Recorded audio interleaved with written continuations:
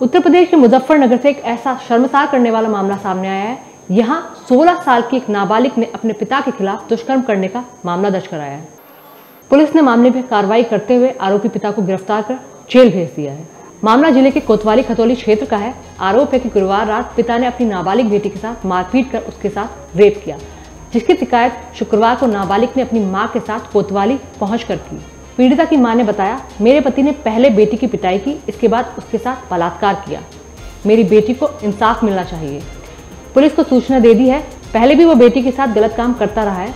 उस वक्त बेटी अगर मुझे बता देती तो मैं उसे पहले ही जेल भेज देती। उधर इस पूरे मामले में सीओ खतौली रविशंकर ने बताया कि एक नाबालिग ने अपने पिता के खिलाफ रेप करने की शिकायत दर्ज कराई है। शिकायत के तुरंत बाद मामले को गंभीरता से समझते हुए इस पर कार्रवाई की है और आरोपी पिता को गिरफ़्तार कर उसे जेल भेज दिया गया है।